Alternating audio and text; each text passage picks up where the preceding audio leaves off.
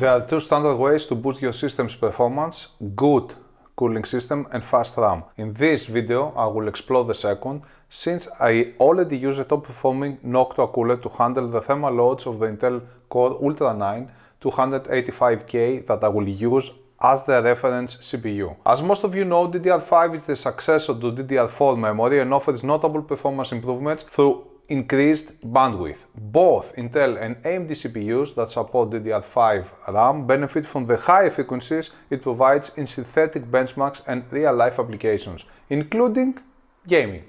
Before you purchase RAM, you must decide on the frequency with DDR5 6000 being the sweet spot between price and performance. So far, 16GB of memory is ideal for everyday use and application. However, if you run heavier applications, for example video editing software, you will see performance benefits if you went with 32GB or even 64GB of RAM. Another thing you should take into account is the supported XMP and expo speed profiles. These are optimal memory settings explicitly designed for Intel, XMP or AMD Expo systems. So you should choose according to your processor. In today's video, the workhorse will be an ASRock Z890 Taichi for which I have to say some words since ASRock was kind enough to send it to me, along with an Intel Core Ultra 9 285K processor. The memory kits I will use are both provided by XPG. ASRock Z890 Taichi. This is a high-end mainboard currently priced at $470. It is a beast of a mainboard equipped with Thunderbolt 4 Type-C ports, Wi-Fi 7, 5G and 2.5G LAN ports, the Realtek ALC 4082 audio codec and the ES9219 Sabre DAC. Thanks to the bundled M.2 expansion card, it also supports a ton of NVMe drives. The four DDR5 slots support XMP profiles up to 9600 MT per second, overclock plus. Please note that this speed applies to 1 DSP, 1 rank RAM.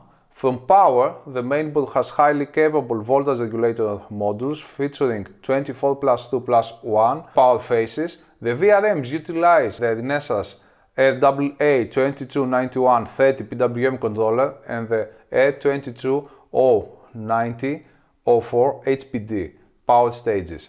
Lastly, all capacitors are rated for 20,000 hours of operation and their values range from 560 microfarad to 1000 microfarad. The increased capacity helps deliver smoothly the power required by the CPU and the rest of the mainboard. The BIOS in the advanced mode is not for the inexperienced. Tons of options and settings allow you to adjust almost everything to achieve higher performance.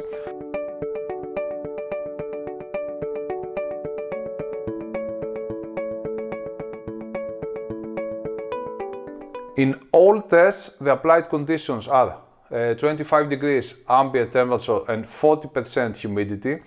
All systems use Windows 11 Pro 64-bit 24H2 uh, with the most recent updates and the NVIDIA drivers 565.90. Performance profiles Intel Core Ultra 9 285K, Intel Default Performance, Intel Core i9 1300 900K, Intel Default Settings PL1 253W and AMD Ryzen PBO enabled. To monitor power consumption and every other important aspect of the system I use Powenetics version 2. Geekbench 6 benchmark. The faster RAM makes a difference here. Geekbench AI. The fast RAM has the lead. Software development. The difference is notable from the Taichi and the DDR5 6000 combination. I got a top score for the fast RAM in PhotoWorxx However, the fast RAM didn't seem to play a significant role in the rest of the AIDA tests that I ran. The faster RAM didn't affect Blender. As expected, the top score for the fast RAM. Again, uh, fast RAM is the best option. Top encoding performance for the fast RAM. Higher performance in the Puget benchmarks for the fast RAM. Leading performance in PCMark 10 for Intel's uh, CPUs top performance in the web browsing test. in 7-zip compares, the fast RAM makes a difference and provides a smaller lead in decompression, it is the same in WinRAR. This is the most interesting part for the majority of users, gaming performance with faster RAM in Assassin's Creed Mirage. The difference is 12 frames or 7.42% improved performance. In Cyberpunk the difference is slight at less than 2 frames in The Last of Us, the difference is close to 5 frames or 2.65%. For Ratchet and Clank, it was 9.1 frames or 4.54%. In Resident Evil 4, it was 9.5 frames or 3.37%. Lastly, there were only 2.65 frames in Starfield and uh, a 1.64 improvement. From the power consumption charts, it's evident that the faster RAM pushes the CPU's power consumption higher. Let's examine the gaming scenario. The average CPU utilization is higher with a small difference in frequency.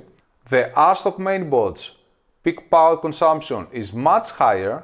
The different VRMs are to blame. The 285K scores well in this chart.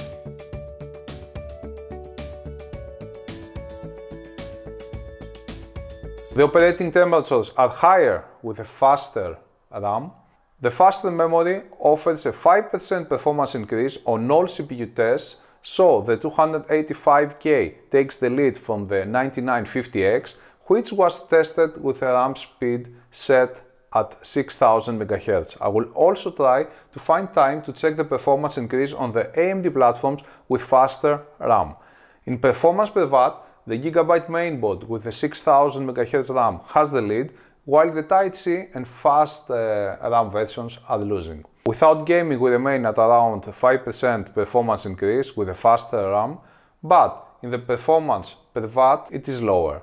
There was around a 3.5% overall improvement in gaming, but the performance uh, per watt dropped notably. Also, the Gigabyte mainboard proved way more efficient than the ASRock one in gaming. The purpose of this review was twofold, to fully evaluate the ASRock Taichi mainboard and check the performance improvement with faster RAM, DDR5 8000 versus DDR5 6000. Because I'm not too fond of extended epilogues, I'm sure most of you don't want uh, to watch too long videos, the main conclusions of this video are the following. The ASRock Z890 Taichi offers interested users a wide range of options. Its build quality is top notch and its price is reasonable for what it offers. The Gigabyte Z890 Aorus Elite Wi-Fi 7 ICE is more efficient than the ASRock Z890 Taichi. The DDR5 8000 RAM only provides 5% on all apps and 3.5% game performance improvement. A DDR5 6000 kit costs almost half the price of a DDR5 8000 kit. That was all guys, bye bye.